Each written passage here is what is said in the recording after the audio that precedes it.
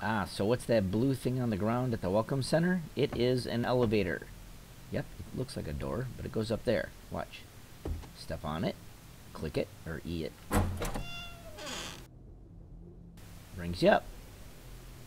And step off. Step back on it. Click it again. Brings you back down. So, it's an elevator test that's in the game, and I thought I'd make it available for anybody that would like to purchase it. You can do it in the slash shop. It is now for an elevator test. 5,000 coins, boys, because it's a test. But the nice thing about it is that um, it will transfer over to your new base.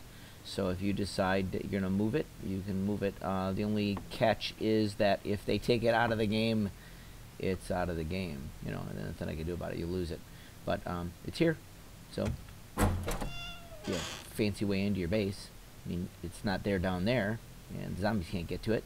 So, kind of a unique way into your base if you want to make one. So, there you go. Come over to the Welcome Center and check it out.